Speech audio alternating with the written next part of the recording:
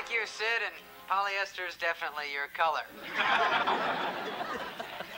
well, I just I don't think so. Canada, and don't like to Oh, I'm sorry. Were you watching? No, we were just sitting here pretending to be throw pillows. Well, I think Kate's doing the better job. I am funny. I really am. Hey, does anyone want to hear a good gag? Just